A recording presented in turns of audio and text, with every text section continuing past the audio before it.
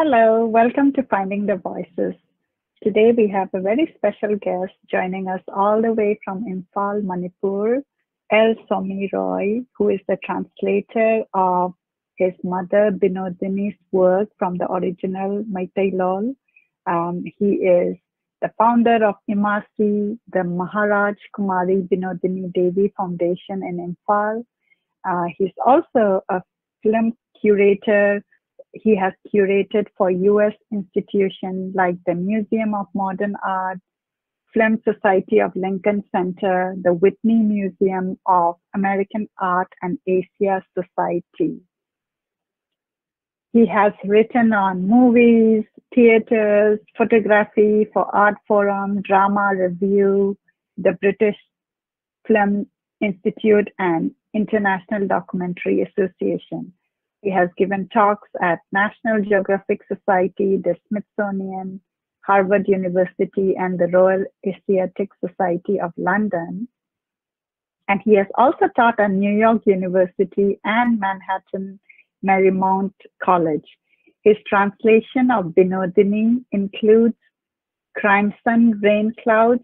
Uh, this was translated way back in 2012. As you can see, I have it over here.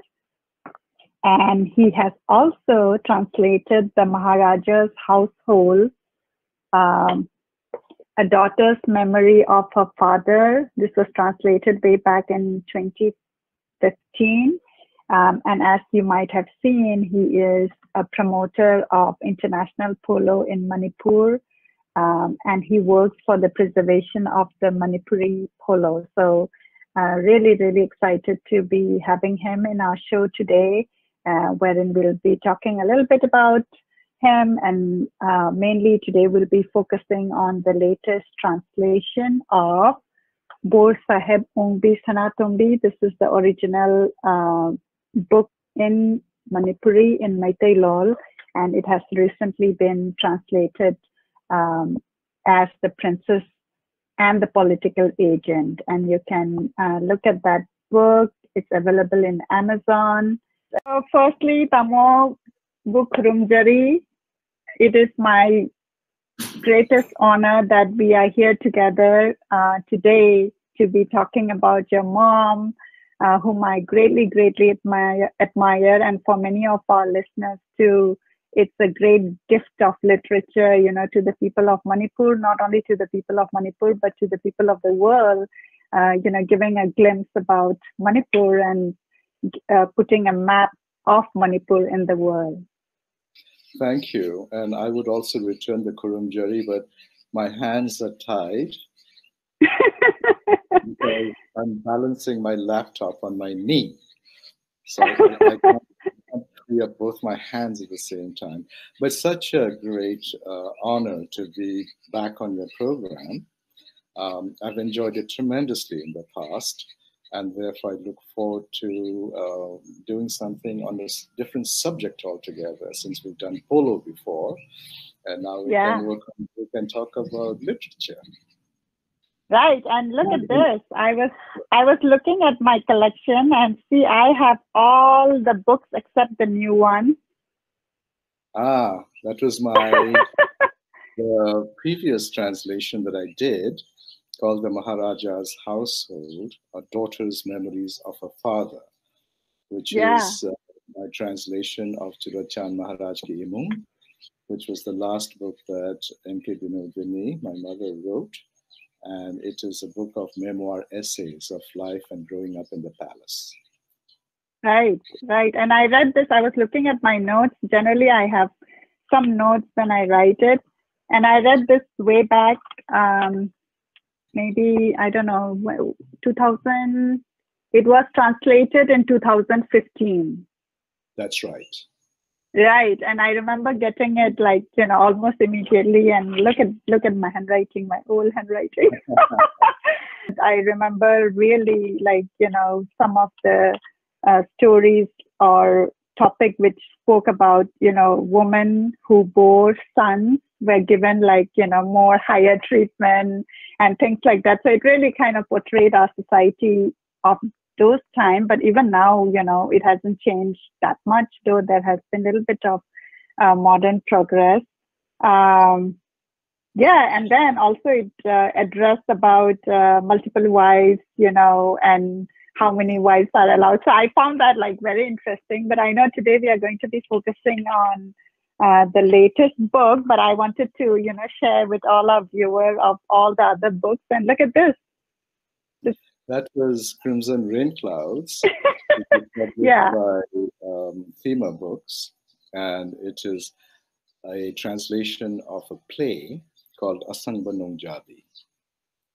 And um, this act- book was actually a, a, little bit of an experiment because it was the first book that I was doing um, that included the translation as well as the original.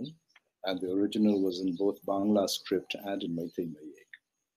Yeah. So it was, um, it was kind of approached as somewhat of a learning uh, tool as well for people who are not familiar with one language or the other, so they could go back and forth and yeah. uh, read and kind of compare and make their own uh, uh, enjoyment and appreciation and even criticism um, to enable that.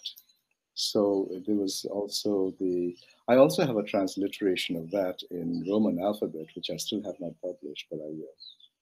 Someday yeah, soon. yeah, I should, I should have put the order. Yeah, you're right. This was the first one, um, you know, translated in 2012.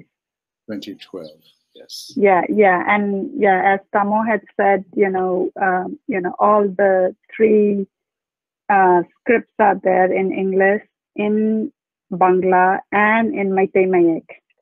that's right. And in Mayek. so yeah. But these are the so i want three, to these are the three yeah books, go ahead.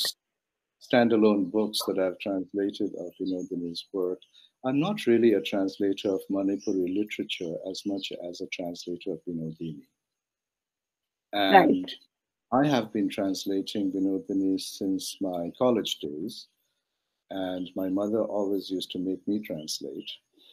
And I've always felt, oh, why do I have to do this? Uh, uh, being a kid at the time, but she liked my translations. And so she always made me do her translations of her short stories that were published also before Sahitya Akademi publications in the 1970s, before I left Manipur to come to the United States.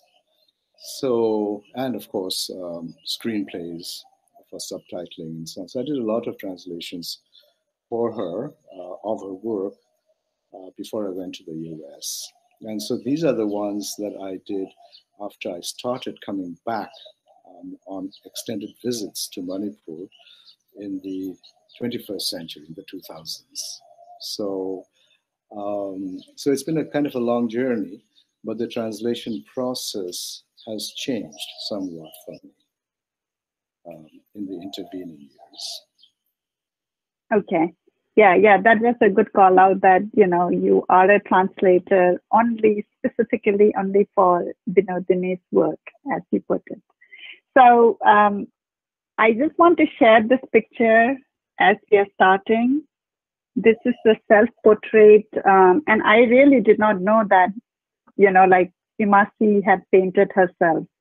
Well, actually, it's not a self-portrait. It's a portrait of um, uh, Binodini by her brother, um, uh, Maharaj Kumar Priyabrata Singh, who was the chief minister of Manipur and the builder of Manipur in the in the uh, second half of the uh, 20th century.